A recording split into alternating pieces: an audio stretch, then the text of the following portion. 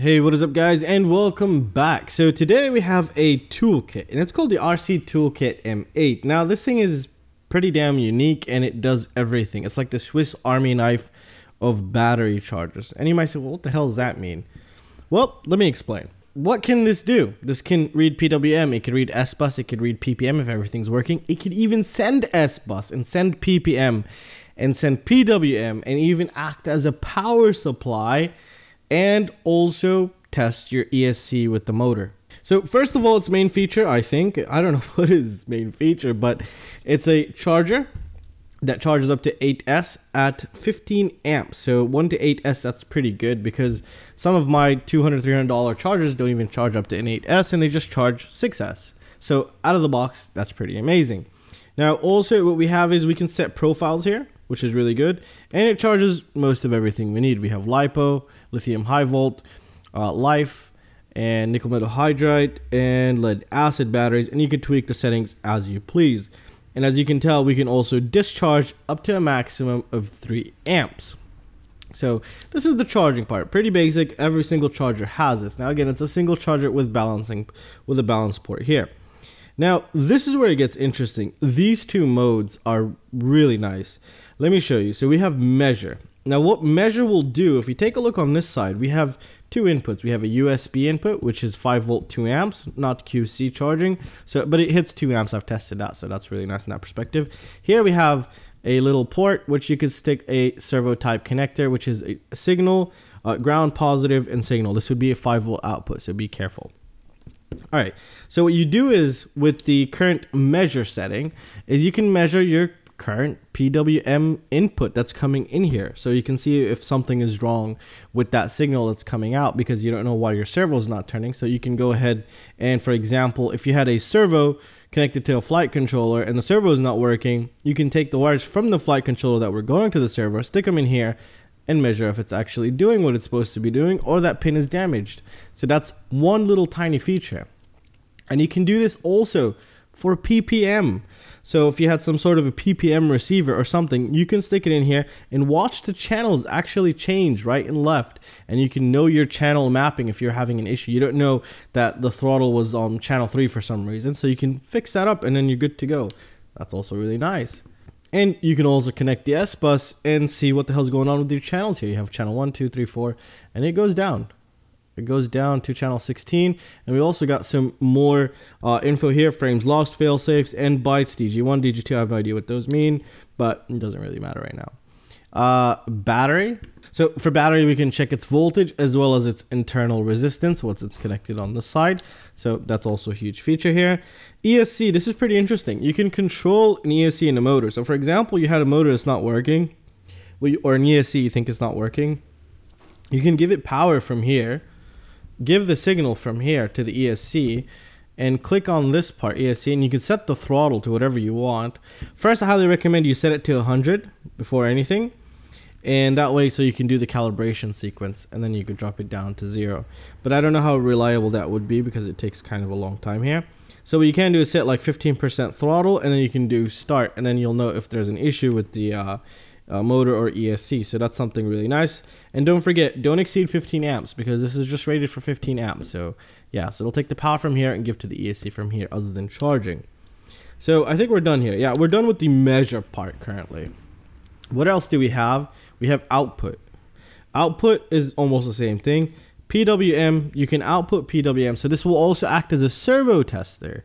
So you wanted to find the center spot of your servo you would go ahead and connect it here. And actually, let me go grab a servo. So for example, I just have the servo and I need to find its center point because I have no idea uh, where its center is so I can install it on my FPV wing, for example. So as you can tell, here's the servo type connector. We have ground positive signal. So that looks right. That looks right. Just like that scared the shit out of me.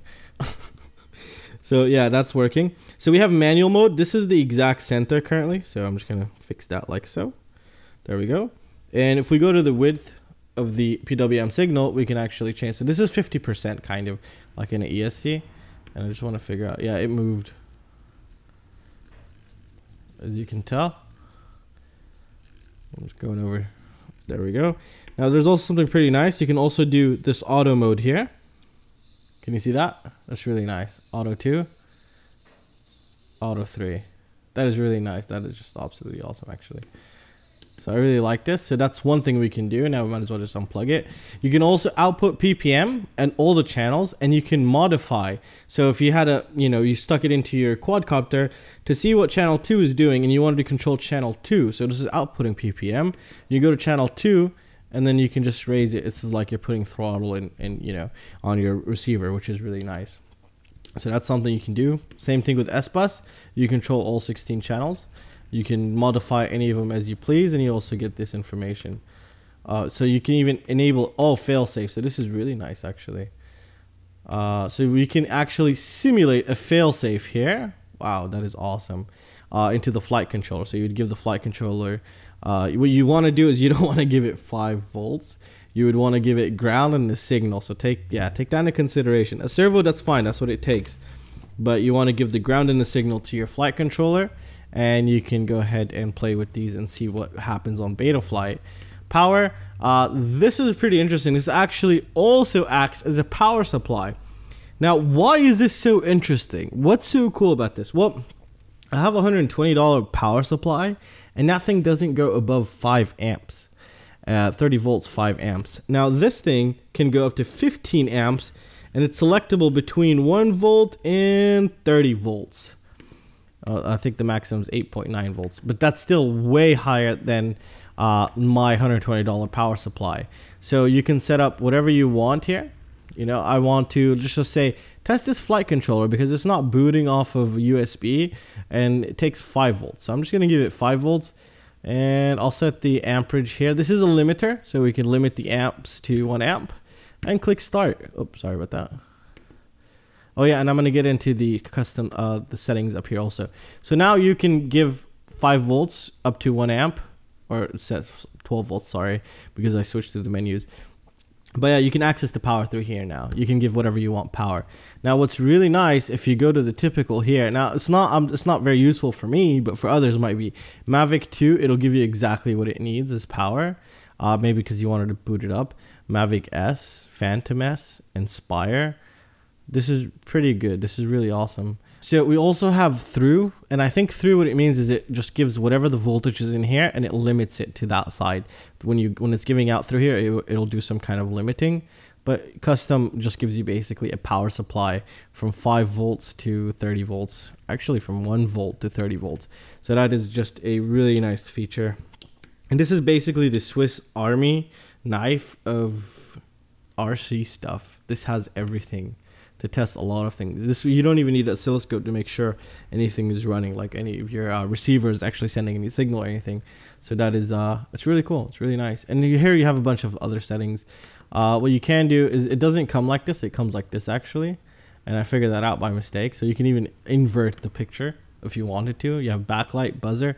Buzzer you get up to seven levels. I turned it off before starting the review because it would have been very noisy, as you can tell pitch gets higher and it gets louder.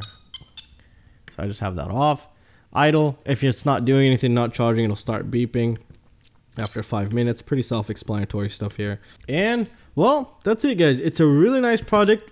Definitely recommended for testing and debugging and even charging. 15 amps, 8S, amazing. Uh, even the power supply function. This is the smallest power power supply on the freaking planet that's capable of, of all of these things. It's quite remarkable. Do you know how small this thing is? Let me show you a comparison real quick. So here's a, what is this, uh, R9M module here. It's almost just like as big as an R9M module. Even it's a little bit fatter in some areas. There we go. It, it's small. It's really small. This will fit in any backpack or anything. So yeah, overall, it's a really nice piece of hardware. I definitely recommend it. I like it. Um, it's very useful. I really hope you enjoyed the video. Please check the links down below to get more information about this product. And if you do click the links, they do support the channel. And if you guys have any questions or any suggestions, feel free to let me know. And I'll see you in the next one. Peace out, guys.